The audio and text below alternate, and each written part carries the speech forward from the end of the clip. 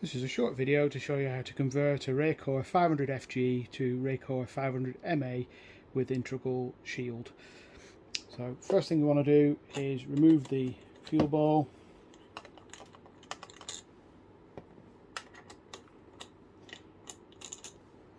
Got to remove the four bolts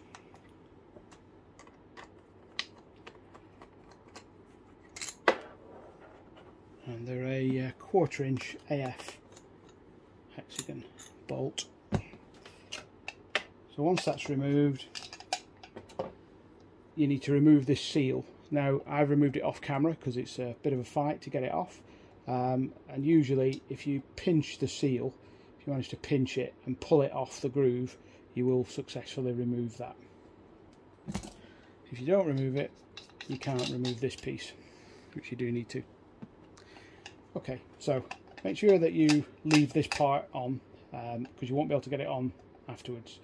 And what we need to do, make sure that the rubber seal is uh, is in its little groove, um, and then insert that through there. And there's a there's a little uh, little journal that, that that locates on, so make sure it has actually located. Next thing is the fibre washer again that locates over that little uh, that brass uh, journal there and then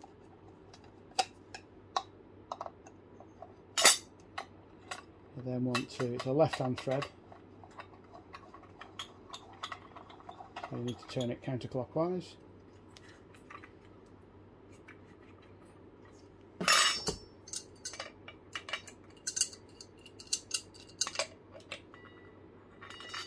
So again, counterclockwise. Uh, you don't need to put too much torque on that because remember it is just going into plastic.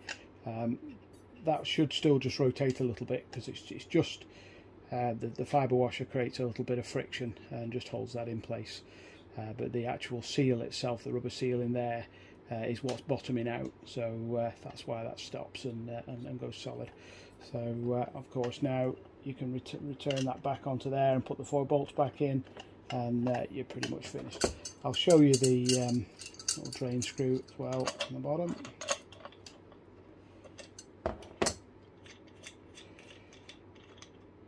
So it's got a little Dowty washer on there to provide a seal. That'll allow you to drain any water that accumulates in the bottom of the ball. Just give that little nip. And then assemble that back on there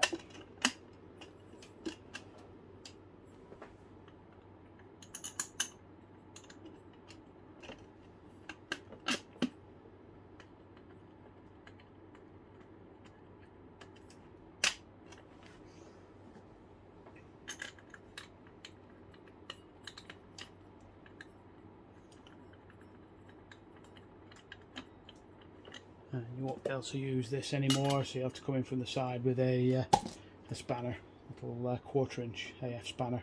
And that'll be that. That'll be you completed